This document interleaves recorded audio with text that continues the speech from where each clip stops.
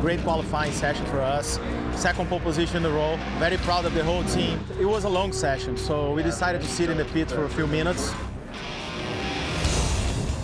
We went out and we had about three laps to get it done, and we got it done in our second lap, and it was a pretty good lap. And, you know, everything went well today.